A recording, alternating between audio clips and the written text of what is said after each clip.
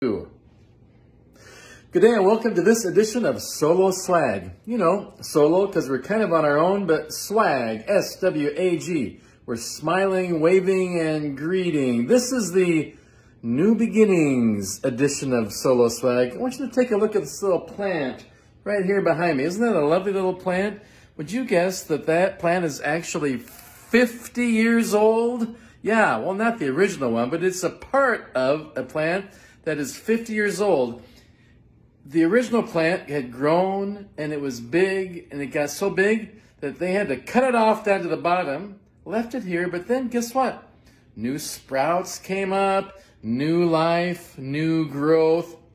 Here it is.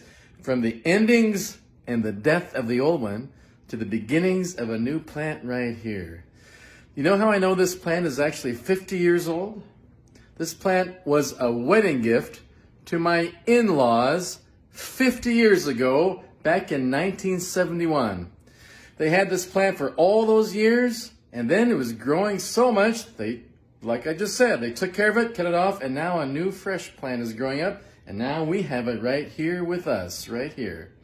And wait, you're wondering about my in-laws? What they're looking like these days?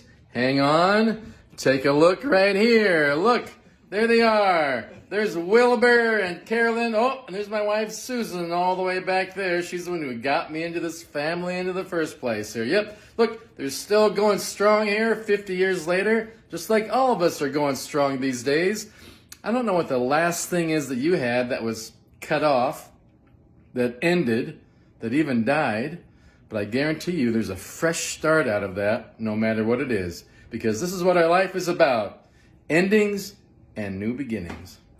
So, until we see each other again, don't forget, stay calm, stay connected, and shine on.